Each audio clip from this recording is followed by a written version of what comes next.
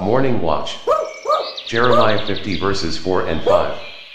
In those days, and in that time, saith the Lord, the children of Israel shall come, they and the children of Judah together, going and weeping, they shall go, and seek the Lord their God. They shall ask the way to Zion with their faces thitherward, saying, Come, and let us join ourselves to the Lord in a perpetual covenant that shall not be forgotten.